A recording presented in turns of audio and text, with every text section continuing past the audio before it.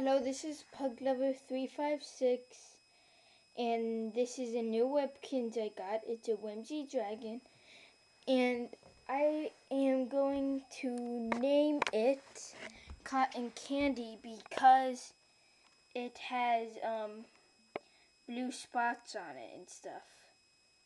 So, yeah. That's why. Okay. Bye.